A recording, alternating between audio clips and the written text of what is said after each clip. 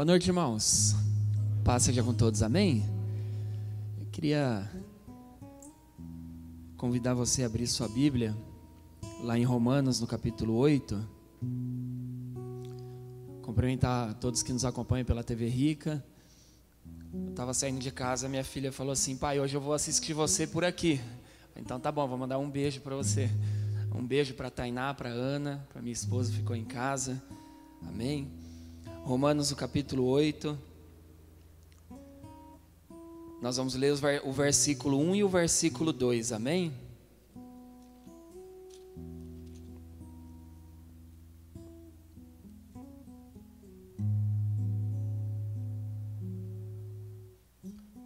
Encontrou aí? Amém?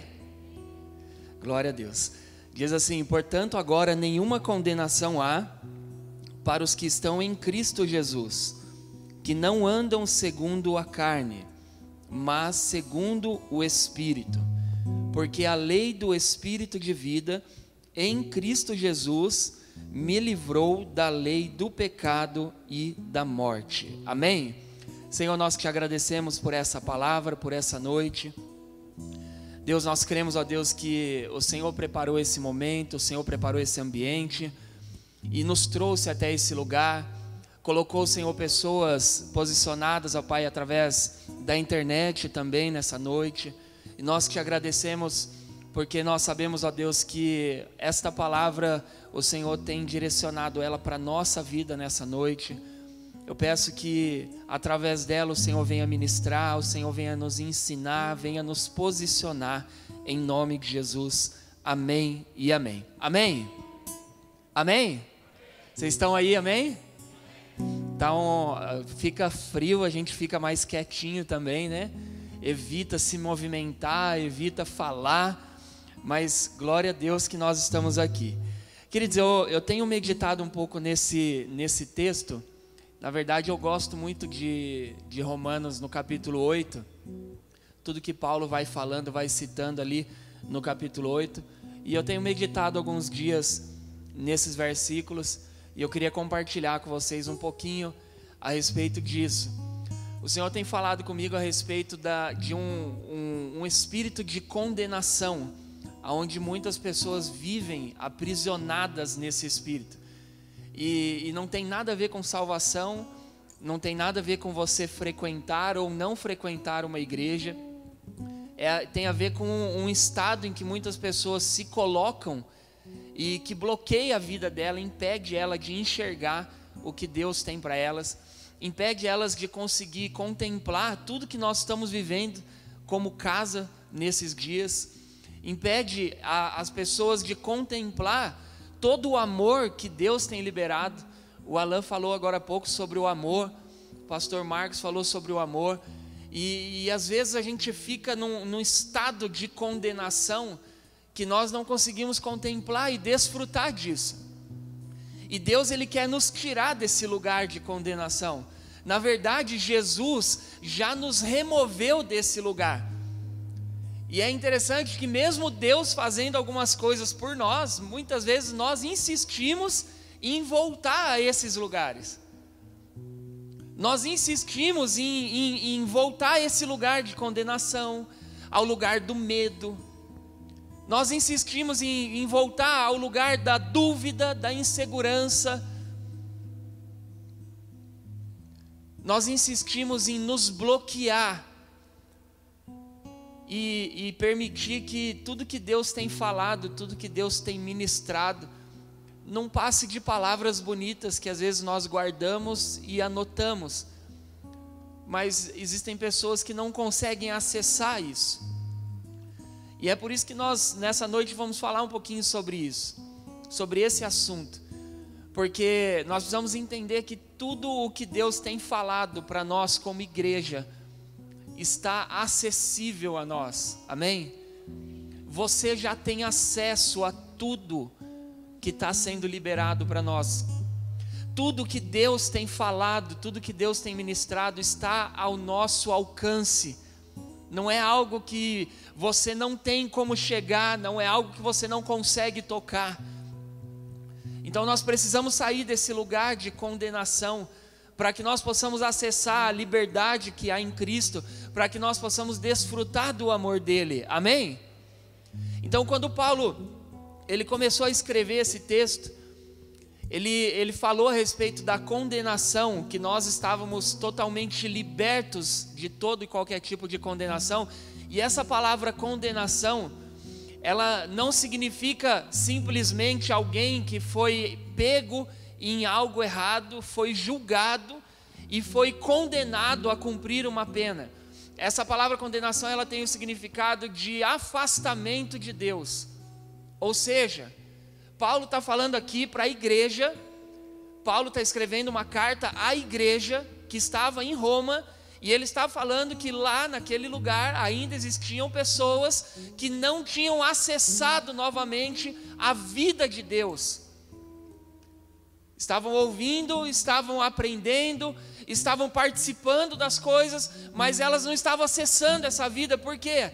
Porque elas ainda estavam vivendo numa antiga realidade que nós falamos, nós chamamos do antigo pacto, e elas viviam nessa realidade onde elas precisavam ver, tocar, onde elas precisavam estar em contato físico com as coisas de Deus.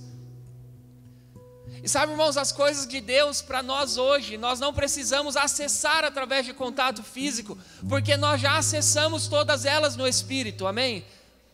Então nós já acessamos a vida de Deus através do Espírito. Então eu não preciso, como os discípulos tiveram essa oportunidade, nós não tivemos e nunca vamos ter de andar lado a lado com Jesus, o Jesus homem. Para eles era incrível isso. Porém era limitado. Por quê? Porque as pessoas precisavam ir até onde Jesus estava. Então elas precisavam sair das casas dela e ir na sinagoga, porque Jesus ia na sinagoga ensinar. Elas precisavam estar nos lugares onde elas sabiam que Jesus ia passar. Você lembra da história do cego Bartimeu? Você conhece a história, amém? A história do cego Bartimeu é muito interessante, porque aquele homem, ele não estava na beira do caminho, porque ele tinha perdido tudo e não sabia mais o que fazer. Se você for estudar um pouquinho a história daquele homem, você vai descobrir que ele era de uma família influente, ele tinha uma história, mas ele entendeu que Jesus ia passar por aquele caminho. Então ele saiu da condição que ele estava, do ambiente que ele vivia, e ele se colocou naquele caminho, esperando o dia em que Jesus fosse passar. Então ele não estava ali por acaso. Não foi, ah, nossa, Jesus passou aqui, justo eu estava aqui, não. Ele sabia, conhecedor da história, ele sabia que Jesus, quando viesse como homem, ele passaria por aquele lugar para ir em direção a Jerusalém. Então ele se posicionou, porque ele sabia que Jesus era a solução para a vida dele. Isso é incrível, irmãos. Eu fico imaginando aquele homem vivendo dia após dia naquele lugar, na beira do caminho, esperando o dia que Jesus viesse. Mas para mim e para você, nós não precisamos disso. Eu não preciso estar à beira do caminho para ter acesso a Jesus. Eu não preciso ir para Israel para ter acesso a Jesus. Eu não preciso nem estar dentro de uma igreja evangélica para ter acesso a Jesus. Por quê? Porque Jesus já tem, já foi tornado o caminho acessível para mim através do Espírito. E hoje ele não se revela e manifesta em coisas e em lugares. Ele se revela e se manifesta em pessoas. Então tudo que eu preciso de Cristo, eu já tenho acesso. Eu tenho acesso porque Ele se revela em mim. Eu tenho acesso porque Ele se revela em você para mim. E isso é, é tremendo a vida no corpo por isso. Porque Deus vai se revelando e se manifestando através de cada um de nós. Eu estava ali sentado ouvindo o Alan ministrando. E o Alan não tem o hábito de, enquanto ele está ministrando adoração, ele ministrar também algumas coisas. Mas hoje, em todas as, as, as etapas, as pausas, ele foi ministrando algo. Ele foi falando. E eu estava sentado ali ouvindo tudo que ele estava falando e recebendo aquilo. Por quê? Sabe por quê, irmãos? Porque tudo que está sendo liberado através da canção, através de uma palavra, através de uma oração, é a maneira que Deus escolheu de se revelar a nós nessa noite.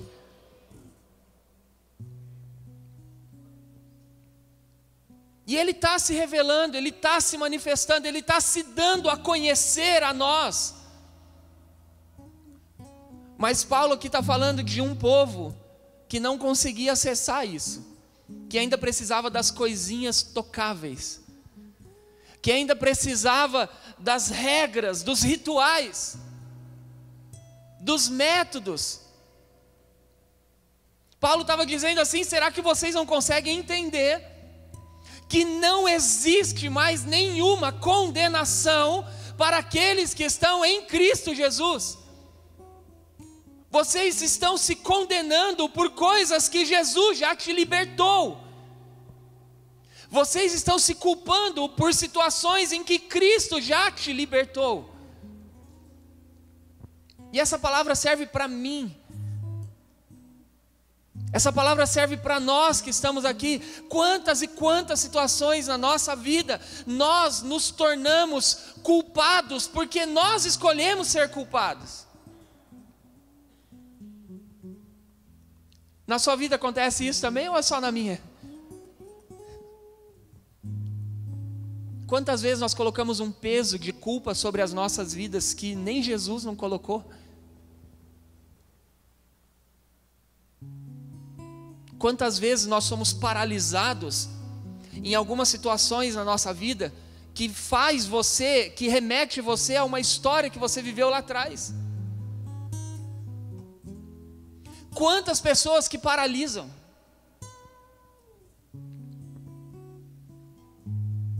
Porque aquela história, aquela situação, ela trouxe à sua memória algo. ela renasceu, ela ativou novamente dentro de você uma situação de trauma, uma situação de medo, uma situação de rejeição, de humilhação, e aí você trava, não consegue avançar. Sabe o que é isso? É condenação. Nós precisamos sair desse lugar.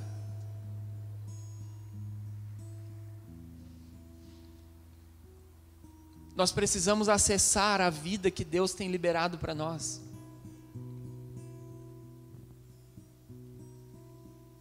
Nós não podemos mais viver debaixo de culpa.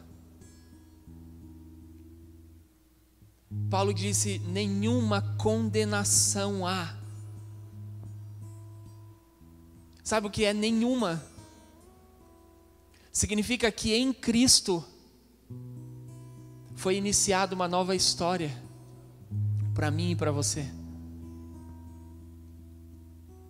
Em Cristo, algo novo está acontecendo em nossas vidas. Senhor falou comigo, eu escrevi aqui, eu vou ler para não ficar errado. Um ambiente de incredulidade não é um lugar onde as pessoas não acreditam. Vou repetir: um ambiente de incredulidade não é um lugar onde as pessoas não acreditam, e sim um lugar onde elas acreditam para si. Eu falei, como assim, Deus? O que, que significa isso? E o Senhor falou que a incredulidade que atua na vida de muitas pessoas, ela é, se torna um ambiente onde tudo que você ouve passa pelo seu crivo pessoal. Aonde eu posso me beneficiar com isso? De que forma isso vai resolver os meus problemas? Como essa palavra vai enxugar minhas lágrimas? Como isso que eu estou ouvindo vai resolver o meu problema financeiro? E você sabia, irmão, que pensar em si se torna um ambiente de incredulidade? Porque o Evangelho não é como você vai resolver os seus problemas, porque os seus problemas já foram resolvidos em Cristo.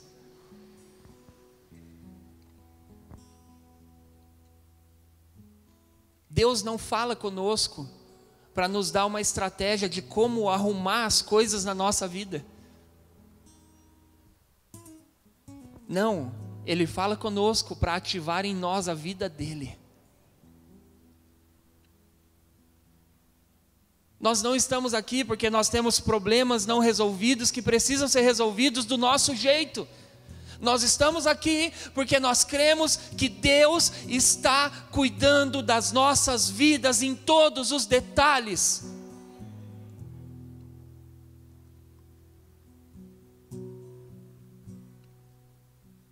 Então é disso que Paulo estava falando. Paulo estava falando assim: olha, pare, rompa com esse lugar de condenação, aonde tudo que você está fazendo é se afastar da vida.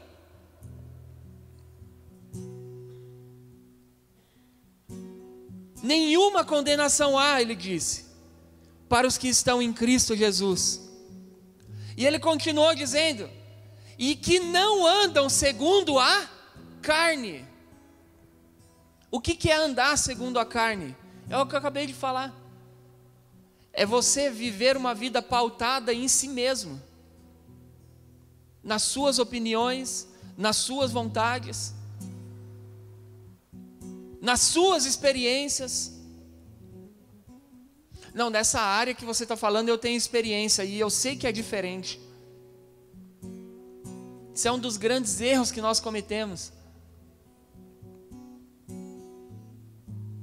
Eu lembro uma vez que eu estava participando de uma palestra na, na área empresarial e eu estava com, com algumas pessoas e terminou a palestra, eu estava conversando com uma dessas pessoas e eu disse: E aí, o que, que você achou?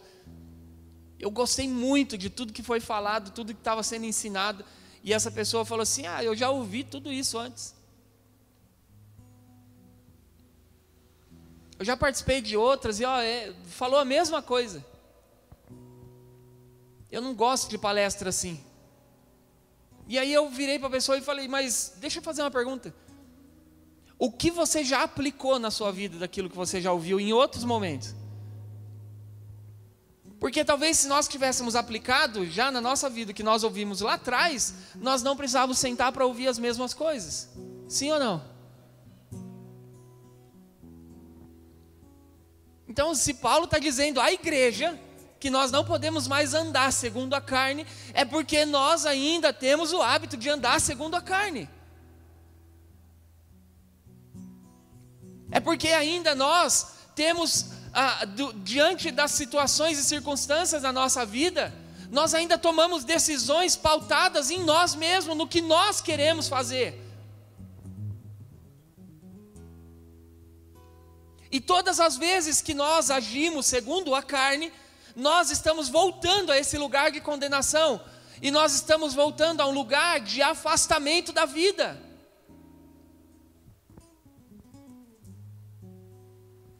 Ele disse: Não andam mais segundo a carne, mas segundo o Espírito. Paulo falou em 1 Coríntios, capítulo 15, versículo 45 ele fala, faz uma referência a respeito do primeiro e do último Adão. E ele diz: o primeiro Adão foi feito alma vivente, e o último Adão foi feito espírito vivificante. Amém? O que, que ele estava dizendo? O Adão, o primeiro Adão, ele recebeu sopro de vida nas suas narinas. E a Bíblia fala que com sopro de vida ele se tornou uma alma vivente. Amém? O último Adão não teve sopro na narina. O último Adão foi gerado no Espírito. Então, ao ser gerado no Espírito, ele não se tornou uma alma vivente, sim um Espírito vivificante. Essa palavra vivificante, na origem dela, ela significa germinar. Então, só é possível ser vivificante se você nascer de novo. Era disso que Paulo estava falando em 1 Coríntios 15, 45. A, a respeito de quem que ele estava falando? Quem é o último Adão? Cristo. Então ele estava falando assim que Cristo se tornou um espírito vivificante porque ele nasceu, ele morreu e ele nasceu novamente, ele ressuscitou colocar a palavra correta, né? Ele morreu e ele ressuscitou. Aquela semente foi colocada na terra e ela germinou, ou seja, ele vivificou. E a mesma, o mesmo Paulo, ele também cita que esse mesmo espírito que vivificou a Cristo, ele também nos vivifica. Por quê? Porque a vida de Cristo está sendo gerada em mim e em você, como uma semente. E aqui, essa semente ela vai germinando, ela vai crescendo, até ela amadurecer. Então, nesse processo, aonde nós estamos nos libertando de toda condenação, ao mesmo tempo, Cristo está sendo formado em nós. A vida dele começa a ser gerada em nós. A vida dele começa a fluir através de nós.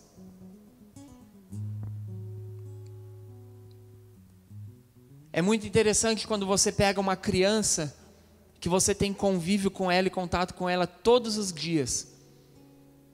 E você fica de repente um mês sem ver aquela criança. Um mês depois, você percebe algumas mudanças. Fala, meu Deus, como você cresceu nesse um mês. Você já percebeu isso?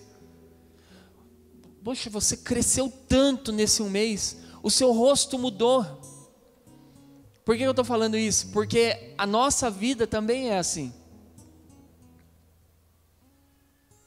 É impossível que nós sejamos capazes de perceber o que Deus está fazendo em nós de um dia para o outro. Mas quando nós olhamos para quem nós éramos no passado, nós conseguimos ver realmente como a vida dele está sendo formada e gerada em nós.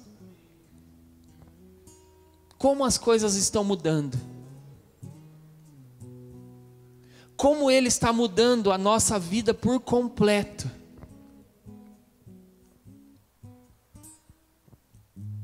Alguns anos atrás, quando uma pessoa vinha do mundão e ela vinha para a igreja, passava algum tempo, nós falávamos assim: nossa, aceitou, foi, foi para a igreja?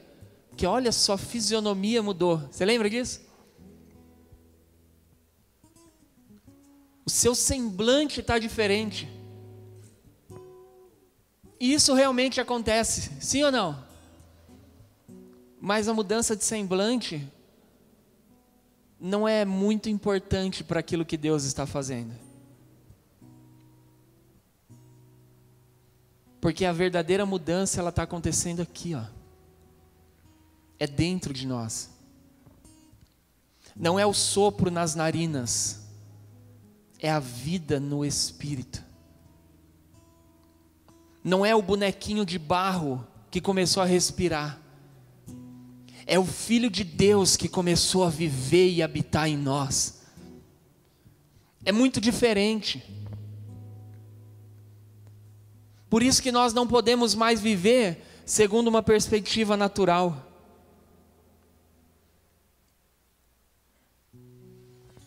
Por isso que nós não podemos mais estabelecer a nossa vida a partir de planejamentos que você fez há 30 anos atrás.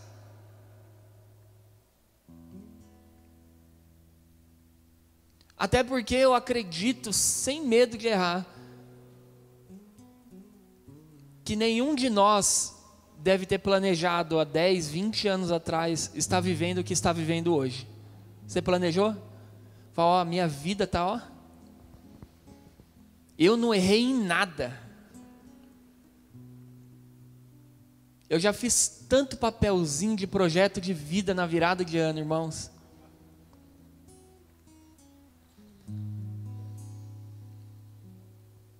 Passava dois, três meses, eu não dava conta nem de lembrar o que estava escrito, quanto mais saber se aconteceu ou não.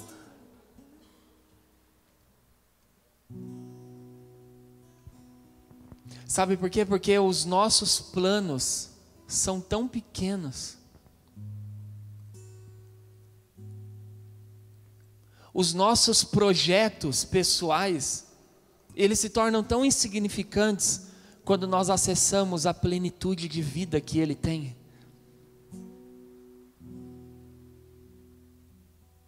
Quando éramos criança, nós queríamos. Eu lembro quando eu era criança, o que eu mais queria era completar meus 18 anos logo, para tirar a habilitação e começar a dirigir. E hoje passaram alguns anos, tem dia que eu não quero nem chegar perto do carro, porque dirigir cansa.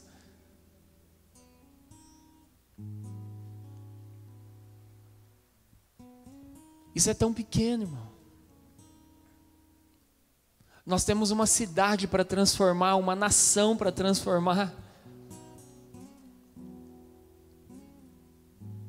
E às vezes somos limitados a pensar em coisinhas tão pequenas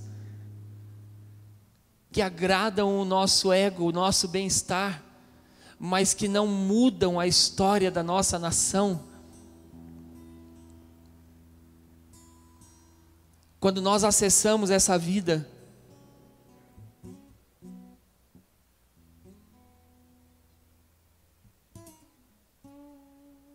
já não é mais possível você continuar vivendo de uma maneira individual.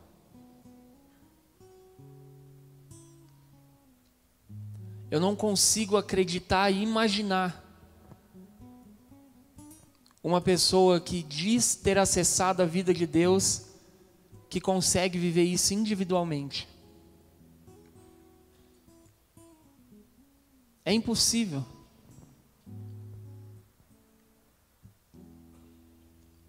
Porque a vida dele, ela não se, ela não se, se limita a uma caixinha fechada.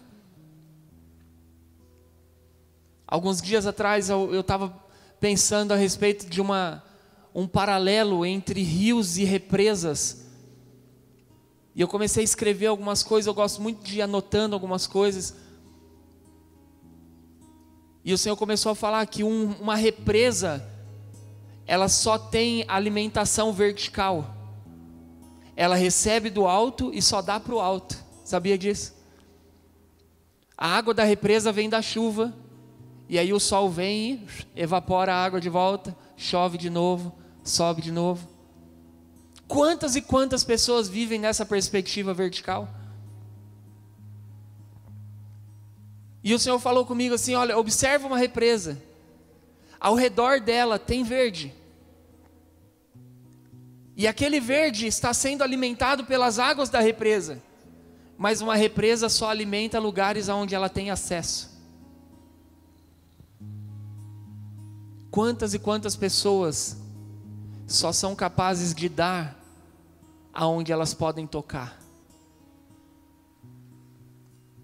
Aonde elas podem ter de volta? Agora um rio não. Um rio, ele não recebe só o que vem do alto. Porque a água que está aqui hoje, daqui um minuto já não está mais. E já tem outra no lugar. Por isso que Jesus ele disse para aquela mulher que do interior dela fluiriam rios de águas vivas. Ele estava dizendo: você vai começar a receber na vertical e na horizontal, porque você também vai dar na vertical e na horizontal. Um rio, na beira desse rio também tem verde mas a água que regou aquele verde, ela não vê a colheita. E assim somos nós. Nós não precisamos ver a colheita onde nós semeamos. Nós não precisamos ficar parados esperando o benefício daquilo que nós estamos dando.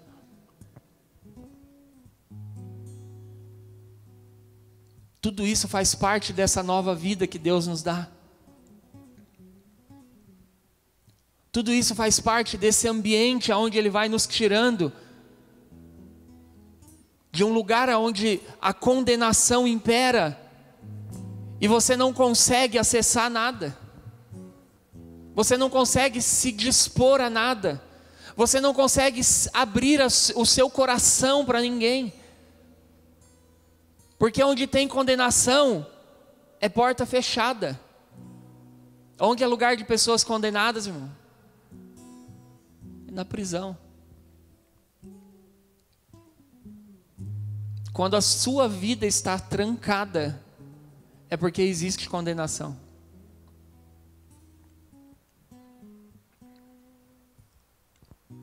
Todo condenado é tirado do seu convívio natural.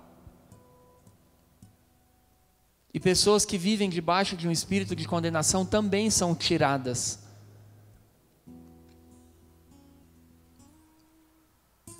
E elas vivem o seu mundinho fechado. Elas vivem se escondendo, se esquivando, se protegendo. Tem sempre uma resposta na ponta da língua tem sempre um argumento bom.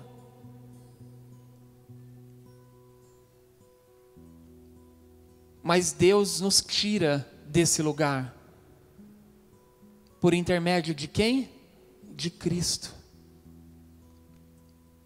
A palavra de Deus fala no Evangelho de João que nós conheceríamos a verdade e a verdade nos libertaria.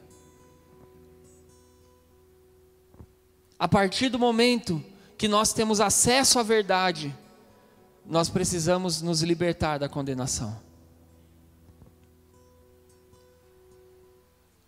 A verdade nos tira desse lugar. O livro de Atos fala um dia que Paulo e Silas eles foram presos, colocados dentro de uma cela. Na verdade, não era uma cela, era uma espécie de um calabouço onde eles foram amarrados, onde eles ficaram ali e a Bíblia fala que perto da meia-noite eles começaram a cantar, eles começaram a adorar. Só que a Bíblia não fala que eles começaram a cantar para as cadeias quebrarem.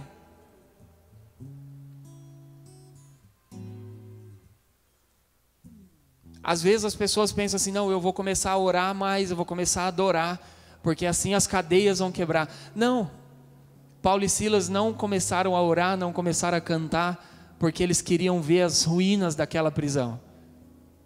Eles começaram a cantar e eles começaram a adorar, porque eles estavam com os pés e as mãos amarradas, mas eles eram livres. A verdadeira liberdade não está condicionada à sua situação física, geográfica. Tanto que você, se você lê na Bíblia, você vai ver que as portas daquela prisão se abriram, que as cadeias se romperam e eles não saíram correndo. Você já imaginou, irmão? Você está num lugar trancado, num quarto fechado, e aí você começa a orar, e de repente as paredes daquele quarto começam a ruir, e abre um buraco no meio daquela parede. Qual que é o primeiro, primeiro pensamento de uma mente carnal? Deus ouviu minha oração e me livrou da prisão. Mas Paulo não estava preso. Paulo era livre. Ele entendia que em qualquer lugar que Deus levasse ele, existia um propósito que precisava se cumprir. E naquela prisão existia uma família que precisava ser alcançada. Por isso que ele estava lá. Ele não estava lá para provar que Deus responde à oração e quebra correntes. Ele não precisava de correntes quebradas. Tanto que uma das cartas dele, ele escreve e ele diz assim: Eu estou aqui preso e é melhor que eu esteja escrevendo tudo isso enquanto eu estou em uma prisão porque enquanto eu estou aqui na prisão, ninguém vai poder vir me prender por aquilo que eu estou escrevendo. Olha que interessante.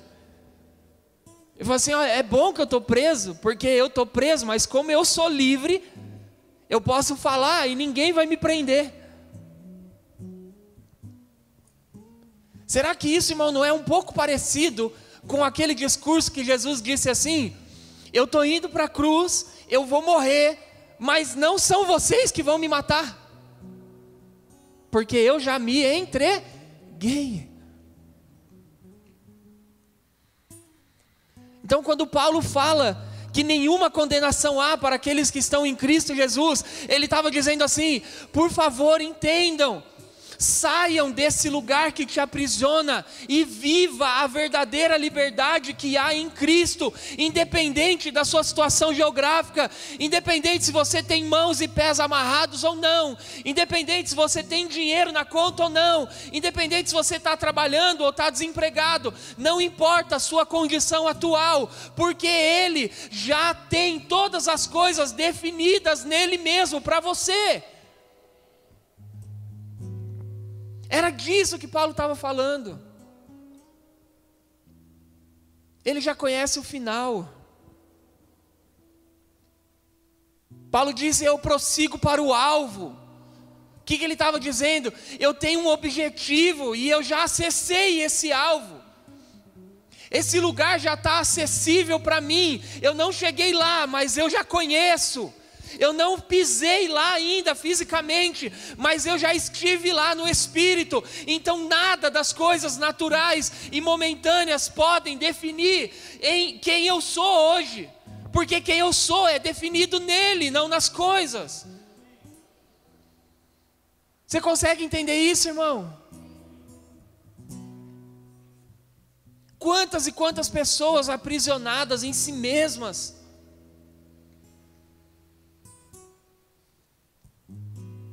Deus está tá liberando a sua plenitude de graça, de amor em nós, e nós às vezes querendo gotinhas.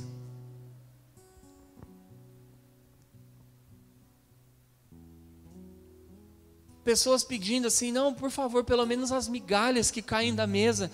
Não tem mais migalhas, porque o lugar dos filhos é sentado à mesa, não é debaixo dela. Nós não precisamos mais correr atrás de migalhas, porque nós temos acesso ao pão da vida. Nós não precisamos mais de gotinhas de água para molhar nosso lábio, porque existe um rio fluindo de dentro de nós, e esse rio já está acessível a mim e a você agora. Que nessa noite todo o peso de condenação venha sair das nossas vidas. Que nessa noite toda e qualquer inclinação às coisas da carne venham ser removidas, porque há uma vida que precisa ser liberada, precisa ser manifesta em mim e em você. Cristo já fez todas as coisas.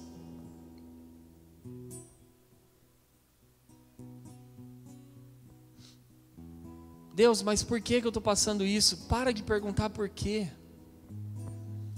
Para de se paralisar no hoje, no agora. Uma das coisas que eu tenho aprendido nesses dias é nunca definir a minha vida por aquilo que está acontecendo agora.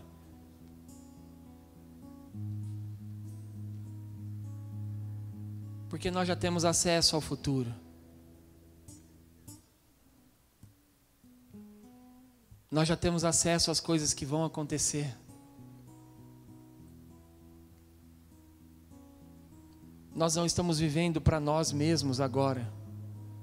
Talvez uma das grandes crises que nós estamos vivendo hoje é porque no passado muitas e muitas pessoas viveram só para a sua geração.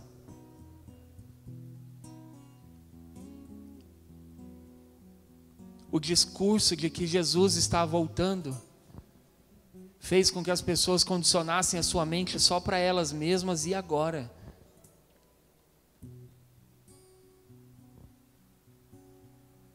E hoje nós estamos voltando como igreja a ter uma visão daquilo que Deus quer fazer. E hoje nós estamos voltando como igreja a acessar alguns lugares que há anos foram esquecidos.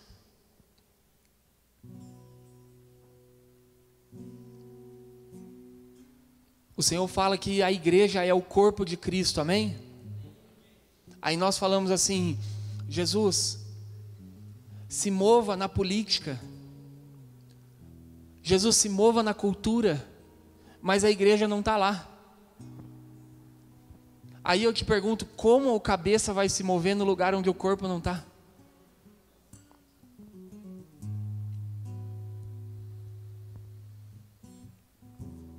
Agora, e como nós vamos estar lá se nós passamos a vida inteira ouvindo que lá não é lugar da igreja? Não é verdade? Não, esse, não, esse lugar é do diabo. O diabo não tem lugar, irmão.